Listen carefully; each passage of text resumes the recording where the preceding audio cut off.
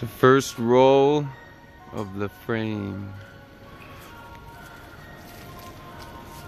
You might get caught on that piece of wood.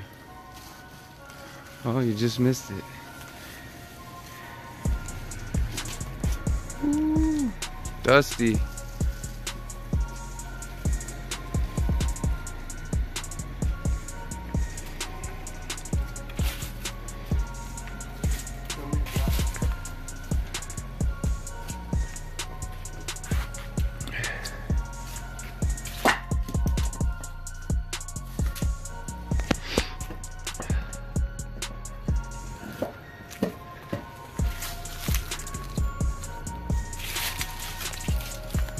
It's all boxed in.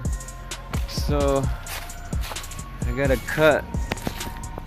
There's some holes with the transmission mount, cross member mounts. I gotta cut a little section out for the cross member to fit. But yeah, it's looking good.